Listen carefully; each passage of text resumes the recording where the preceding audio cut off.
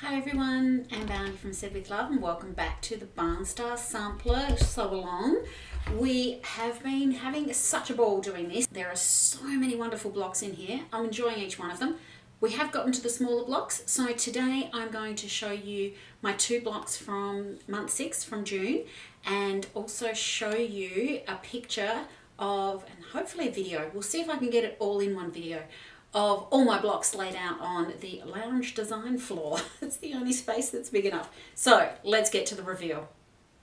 Month six is the Moroccan star block and this month I tried to do a darker background just to have a little bit of a difference throughout my quilt and I love it so much I'm going to do a few more. So without further ado, here is the Moroccan star in my greens and golds, maybe even a citrusy kind of colour.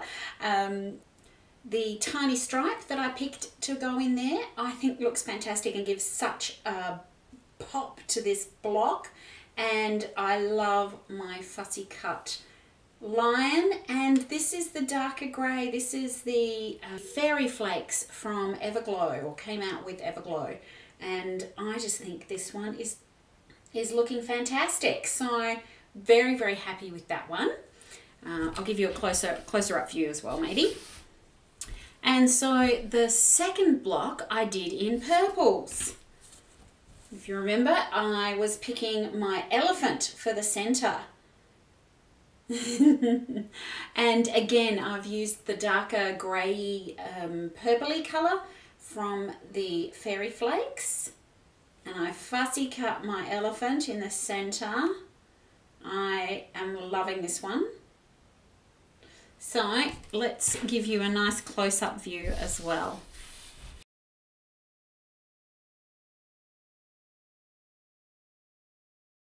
So here is the video I took of my design floor in the lounge. I still couldn't get it into one video, but hopefully it gives you an idea of how I'm starting to lay things out. Wow, this Barnstar sampler is going to be huge. I'm on the design lounge floor this time and here are all my blocks so far.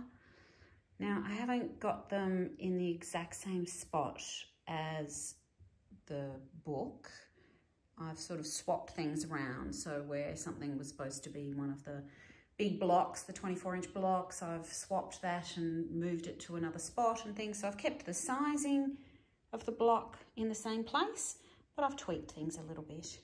And this is just giving me a fantastic opportunity to see the blocks all together. I can't even get them on my video. I can't get back far enough or up high enough. but I'll do a, another photo and see whether we can get it all in one. Still got quite a few holes, I'm surprised, but uh, month seven is about to get added to this, so I'll show you that next month. And here is a picture of it as well, just to give you a more of a static shot to see where things are going. And as you can see, I sort of tweaked where things are in the layout. So where uh, Cora in her original one has perhaps put, um, you know, block one, I've moved it to another position, still where the same size is. So I'm not going to change the, the layout as such, but um, it might be that, you know, I've got a block one up here instead of down there, etc. So I have enjoyed playing with that. And as you can see, I'm starting to try and get a little bit of sort of more the greens in the top left, coming down to sort of more the purples, going through the pinks in the middle, but the purples down the bottom. So that's then given me a much clearer picture of what colours I need to pick for which blocks that are coming up. And I can't wait to get into all those little small blocks because they are just going to go by in a, in a flash. So Thank you for joining us for the reveal and join us next week for the tips and tricks for month seven.